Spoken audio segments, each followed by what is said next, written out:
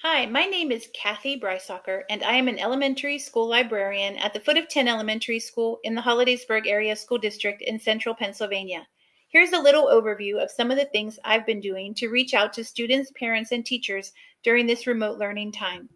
I set up a Google Classroom for virtual learning for all of my students. I'm using several tech tools to share my lessons. For instance, I use Screencastify to record myself explaining the activities. I also use Flipgrid to post activities and allow students the opportunity to share their projects. I post a few activities each week for students to choose from. I record myself reading books and then load them onto an unlisted YouTube channel. The music teacher in my building and I plan a weekly virtual story music time together. Every Thursday, we read, sing, dance, tell jokes, and try to interact with the kids.